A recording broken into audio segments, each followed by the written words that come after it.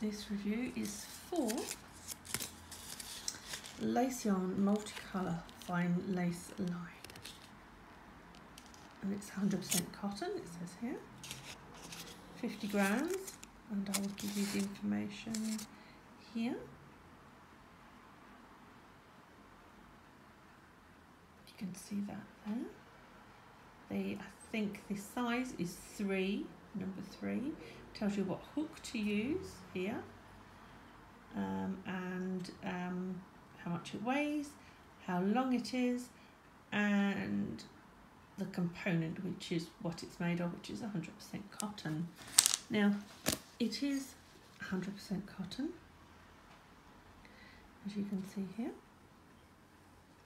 And it comes in these lovely, lovely colours. There's eight in a pack, and this particular set has a pale blue, like a, a russet colour, um, purpley colour, a bit more, you'll see them better. That's the russet type. Mustard, I don't know colour. This is beautiful, look at that colour there. And there's the lilac, or the pear and mauve, or whatever you would like to call it. Then there's black.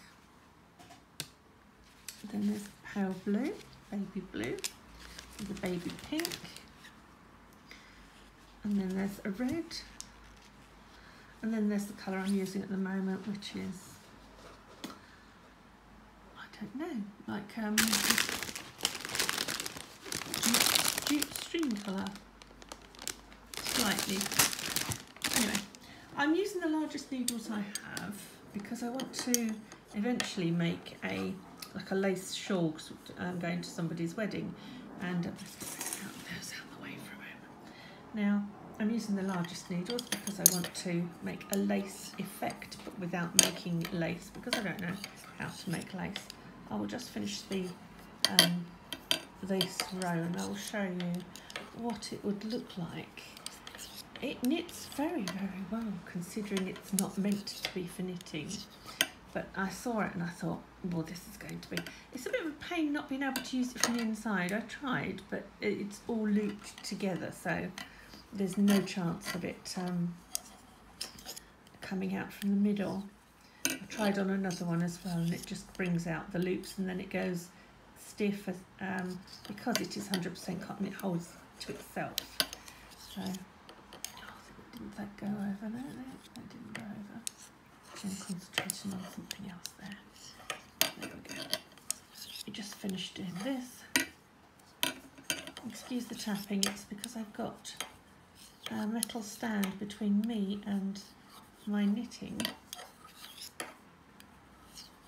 And it's it's tapping on it and usually it's held by my own body. There we go, there we go.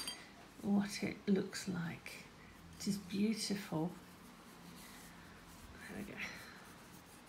It, well, not really my, as you can see, like it's like a lace type look and once it's going to be it's going to be obviously bigger this is just like a trial to see what it looks like and this is the effect that I want because I don't want to distract from the colour that I'm going to wear which is um, I like um, an emerald green so I want something to um, not to dull it down or anything, but if if um, because I'm self-conscious of my upper arms, I want something to go around over my shoulders, but not enough so that when the weather's too hot, it's going to affect me and I'm going to have to shrug it off and then get, yeah, feel a bit uncomfortable.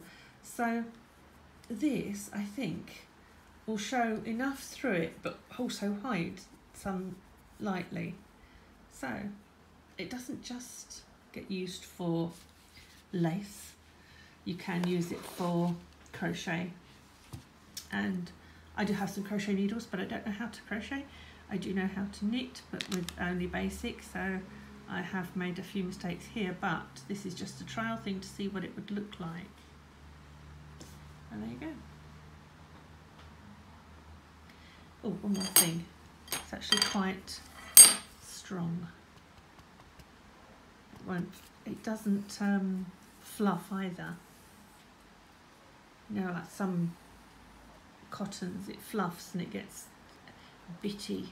This actually hasn't so far, as you can see.